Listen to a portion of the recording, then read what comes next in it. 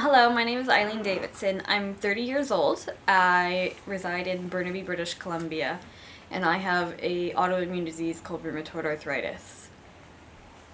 I am also a single mother. I have a child named Jacob. He will be four on December 13th, and he's my world. I unfortunately, um, due to my disease, I can no longer work. And let me tell you right now, that is not easy. being a single mother and being ill. I was very persistent and contacted a lot of places um, because I personally feel like I have something and uh, I want to raise awareness with what an invisible illness is, what rheumatoid arthritis is, also help others that are in a situation like mine because I hit rock bottom when I was diagnosed. I went through a lot and I did it all alone. Um, but I I did it and I'm very proud of how I did it because I came back stronger. During my year and a half, bit of more than a year and a half now actually, journey uh, into discovering what the healthcare system and how to take care of myself. I've learned so much about diet, about what doctors can do for us, different treatments, um, what meditation, yoga, all that can do for somebody who is in chronic pain and putting mind over matter through chronic illness. And I want to share my knowledge and my experience to hopefully help others who are suffering.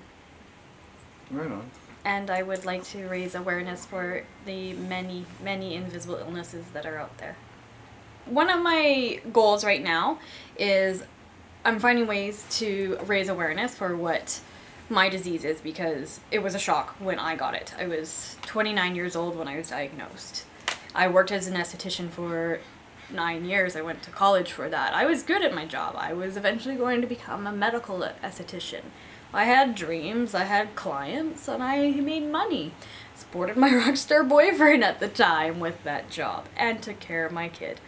And then all of that was shattered. Um, rheumatoid arthritis stole all that from me, um, including the rockstar boyfriend, but that's okay. Over that. And uh, it didn't take away my child. In fact, I think it's actually it made us a lot closer because even though I can't work a normal 9 to 5 job, I can take care of him. Um, and he brightens my day when I am in pain. And so my idea was to raise awareness, to show people what this disease is often thought to be a little old lady disease and to be just arthritis. And show them is a lot more than that and that somebody can be disabled and not look disabled. Um, they could be sick and not look sick and they could be suffering and not look like they're suffering, but there are signs. And unfortunately now I know what the signs of somebody who's suffering because I suffered. And I want to raise awareness hopefully do a little film because I've met countless people who I've said, I am sick, I have rheumatoid arthritis, and they just look at me with a dumbfounded look and say, You? I go to an arthritis center and they think I'm the instructor. The little old ladies that are there, they think I'm the instructor, and I'm like, No, I'm one of you.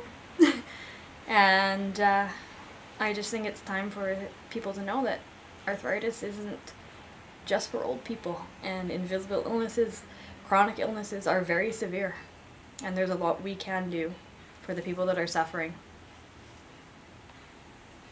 And I want to prove it.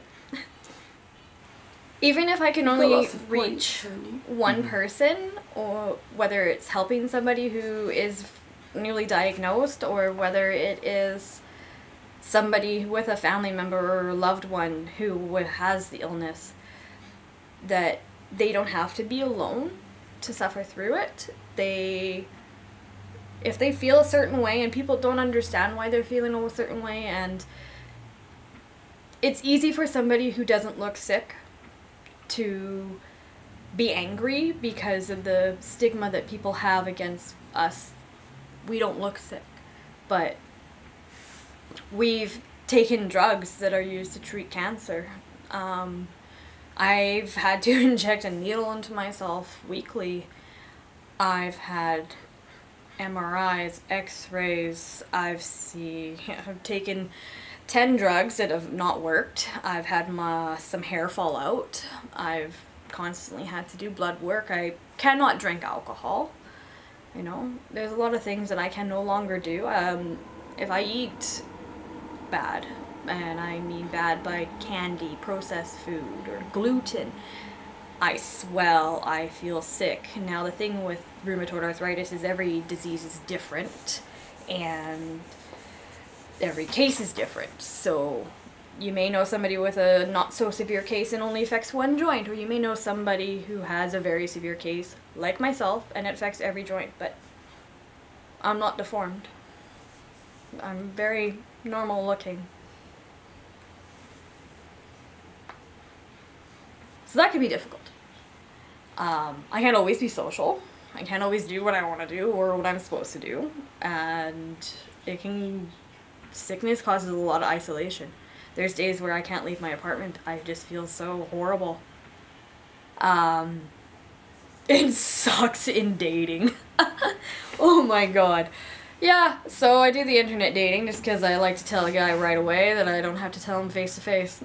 By the way, I, I'm a single mother and I'm on disability and I have so-and-so disease.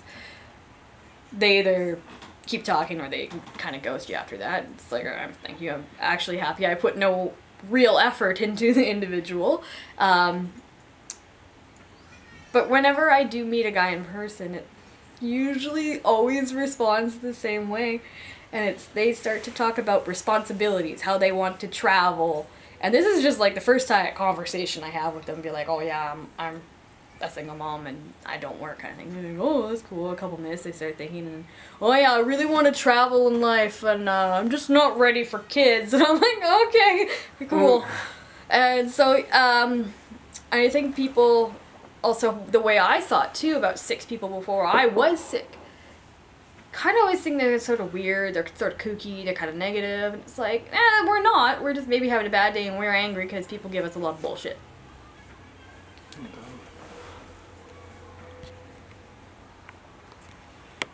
Yeah. Oh, I'm just doing. Should we try a different angle? Oh, I just zoomed out a bit. We'll just do like one more question and then we'll set up. A... Okay. Although this is going uh, a lot of places, um, could go like this. What, how does it look? This is why I want to do a whole film, like a whole mm -hmm. little documentary, because there's so much. Yeah. Totally. Yeah, yeah like I got like four topics and. Yeah, I mean, if you guys are totally interested. I should probably, yeah, for sure. Uh, okay, okay, just one more oh, question. okay. What, what, kind of like advice or what do you want to do for people that, um, like, how do you want to inspire people to keep going?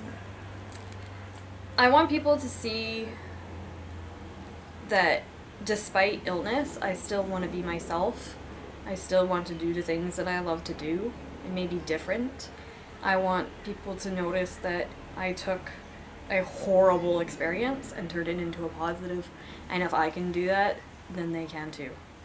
Um, I want to inspire young girls to take care of themselves, to not let bullying get them down. Don't let people ever bring you down because that brought me down.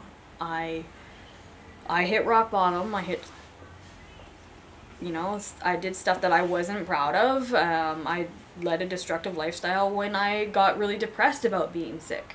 And I pulled myself out of that depression um, through medication, through diet, through exercise. And it's so important to listen to what the doctors say when it says diet is so important. Exercise, taking care of yourself is important. It's really up to the person to decide if they want to take medication by a doctor that's their own personal journey. It's I will never tell someone if they should or shouldn't take drugs.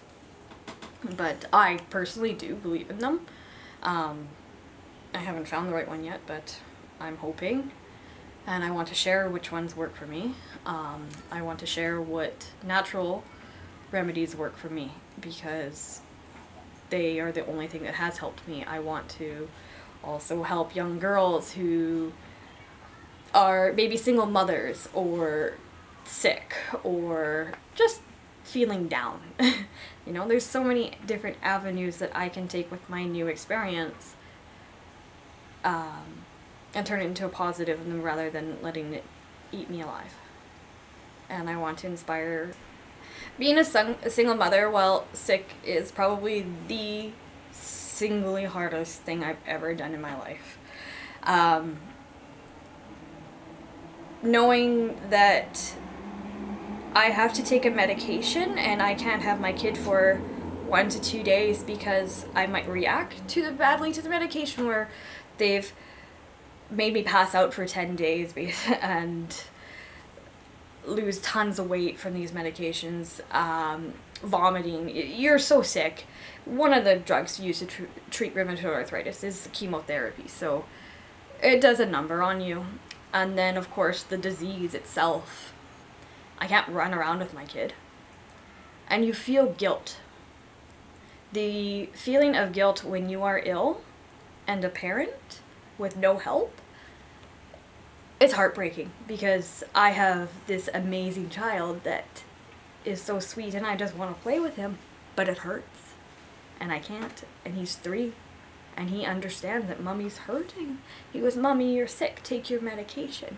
Or he says, Mommy, you're not sick. You have me. And I go, Exactly. I have you. I have you to live for because I have a chronic illness. And even though I'm to live with this for the rest of my life, which is 40 years or so, 50 years, I have that challenge to live for because my son who's telling me has to go potty.